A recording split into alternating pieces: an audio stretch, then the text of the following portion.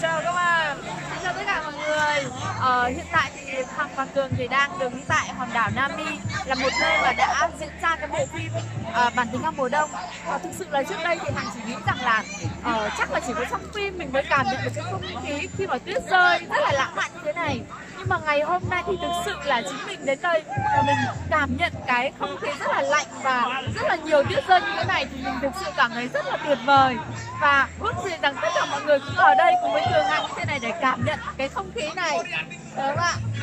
Thực sự là cường thấy rằng là thông qua cơ hội kinh doanh Amway thì ờ, chúng ta ờ, có thực hiện được những ước mơ của mình.